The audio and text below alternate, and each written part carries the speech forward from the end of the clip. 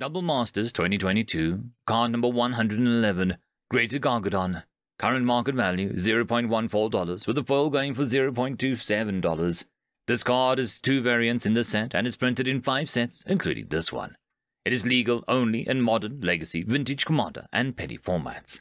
There are currently an excessive amount of rules against this card by Wizards of Coast. 1. Suspend is a keyword that represents three abilities. The first is a static ability that allows you to exile the card from your hand with the specified number of time counters, the number before the dash. On it by paying its suspended costs, listed after the dash. The second is triggered ability that removes a time counter from the suspended card at the beginning of each of your upkeeps.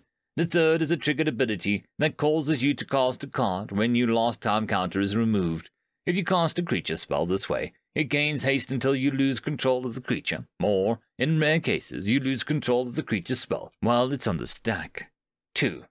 You can exile a card in your hand using Suspend any time you could cast that card. Consider it a card type, any effects that modify when you could cast it, such as Flash, and any effects that could stop you from casting it, such as a Meddling Mage's ability, to determine if and when you can do this.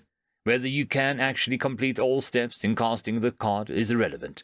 For example, you can exile a card with Suspend that has no mana cost or that requires a target even if no legal targets are available at that time. 3. Cards exiled with Suspend are exiled face up. 4. Exiling a card with Suspend isn't casting the card. This action doesn't use the stack and can't be responded to. 5.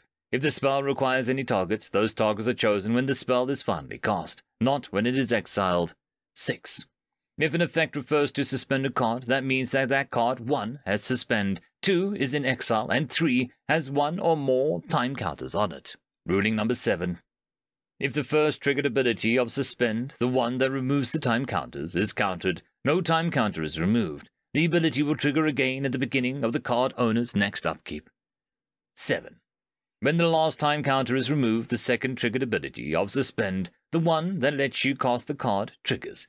It doesn't matter why the last time counter was removed or what effect removed it. 8. If the second triggered ability is countered, the card can't be cast. It remains exiled with no time counters on it, and it's no longer suspended. 9. As the second trigger ability resolves, you must cast the card if able. You must do so even if it requires targets, and the only legal targets are ones that you really don't want to target. Timing permissions based on the card's type are ignored. 10. If you can't cast a card, perhaps because there is no legal targets available, it remains exiled with no time counters on it and is no longer suspended. 11. If you cast a card without paying its mana cost, such as with Suspend, you can't choose to cast it for any alternative costs. You can, however, pay additional costs. If the card has a mandatory additional cost, you must pay those if you want to cast the card. 12. You are never forced to activate mana abilities to pay costs, so if there is a mandatory additional mana cost, such as from Thalia, Guardian of Thraben, you can decline to activate mana abilities to pay for it, and hence fail to cast the suspended card, leaving it in exile. 13. If the card has an X in its mana cost, you must choose 0 as the value of X when casting it without paying its mana cost. 14. The mana value of a spell cast without paying its mana cost is determined by its mana cost, even though the cost wasn't paid. 14. A creature cast using Suspend will enter the battlefield with haste. It will have haste until another player gains control of it. In some rare cases, another player may gain control of the creature spell itself. If this happens, the creature won't enter the battlefield with haste. To cast this card will cost 1 red, 9 general mana. It is a creature, beast, and the card is a rare, with the ability Suspend 10, 1 red mana. Sacrifice an artifact, creature, or land.